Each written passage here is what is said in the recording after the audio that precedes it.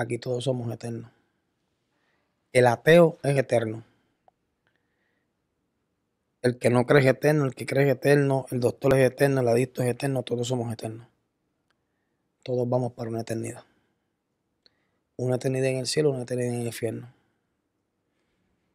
Ah, es que eso es una historia, pues está bien. Pues va a pasar como Pedrito, que la maestra le dijo, mira, mañana me van a traer la historia, una historia verídica que haya ocurrido en el mundo. Es para nota, el que no traiga la historia se cuelga. Ay, ya, ya llegó Edwincito al otro día. ¿De qué vas a hablar? Voy a hablar de Nelson Mandela. Uf, la maestra dijo, dame la historia de Nelson Mandela. Tienes A. ¿De qué tú vas a hablar, Wilito? Wilito dijo, bueno, yo voy a hablar de, de Cuba y de Fidel, de esa historia. Wow. Pedrito, ¿de qué tú vas a hablar? Yo voy a hablar de Jonás. Pero espérate, espérate, espérate, espérate, Pedrito. Le dijo la maestra, ¿cómo que tú vas a hablar de Jonás? Yo hablé aquí y dije que tiene que ser historias verídicas. Pero maestra, eso es verídico, eso está en la palabra del Señor. Eso lo escribieron hombres. Eso no son historias verídicas. Estamos hablando de historias verídicas, de cosas que existieron en verdad. Maestra, esta es la palabra de Dios, impregnada en letra. Lo que está escrito aquí fue Dios que lo escribió a través de los hombres. La maestra se molestó. Le dijo, tú parece que quieres colgarte. Yo tengo una pregunta. Esa historia que tú hablas de Jonás, de ese Dios imaginario. Si cuando tú llegas al supuesto cielo, tú no te encuentras a Jonás. Perrito le dijo, tranquilo maestra, que cuando usted llegue al infierno le manda salud de parte mía, porque uno de los dos lados va a estar. Un día vamos a saber. Mira, esto es sencillo. Esto es para los ateos. Para el que no cree en el Señor. Si la, la teoría de ellos fuera cierta, que no es cierta y pongo mi cabeza en un picador, pero vamos a sentarnos en el lado de ellos. Si la teoría del ateo fuera cierta de que Dios no existe, de que es imaginario, de que estamos perdiendo el tiempo, perdí el tiempo con gusto. Porque desde que me acerqué hacia Dios imaginario, que tú piensas que no existe, se me restauró el matrimonio. Ya no soy infiel. Ya no tengo depresión. Ya no quiero matarme. Ya mami no se va a acostar preocupada porque van a llamar que mataron a Héctor. Todo lo que me ha hecho ese Dios imaginario es bien.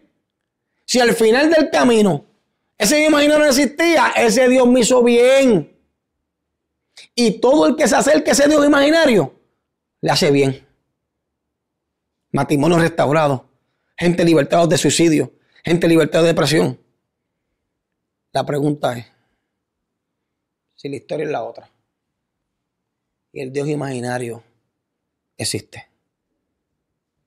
La Biblia dice que el que no se encuentra escrito en el libro de la vida será echado al lago de fuego. Un día vamos a ver qué historia era la verdad, la tuya o la mía. Y el que no se salva aquí no, no va al cielo.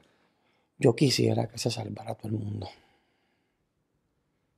Séme honesto, séme honesto. Quiero te voy a, te voy a ser honesto. Te tengo la pregunta.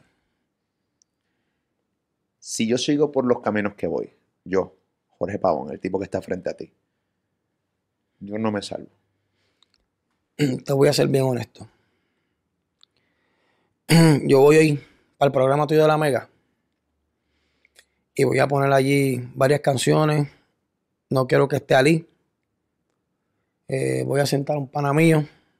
Eh, y el programa no va a ser a, a las 5. A las 5 empieza, a las 3. A las 2. A las 2. 2 a 7. 2 a 7. No va a ser a las 2, lo voy a cambiar a las 6 de la tarde. Tú me vas a decir, no. No puedo hacer eso. Porque ese programa de quién es? Es tuyo. Inclusive tú tienes un contrato con la Mega.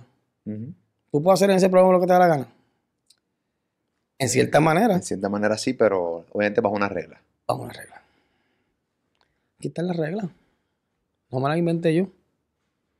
La Biblia dice que no se, el que no se encuentra escrito en el libro de la vida se la echa al lado de fuego. Y para encontrarse escrito en el libro de la vida hay que vivir lo que dice la Biblia. Jesús dijo, el que me ama, mi palabra la guardará. Molusco, Es mejor la represión manifiesta que el amor oculto. Yo tengo que decirte la verdad. Yo no puedo venir aquí a congraciarme con, contigo, con los hombres, porque la Biblia dice que el que se consagre, se que consagre con los hombres no puede ser siervo de Dios. Es la verdad. Hay que escapar, molusco. Hay que escapar de una condenación eterna que está aquí.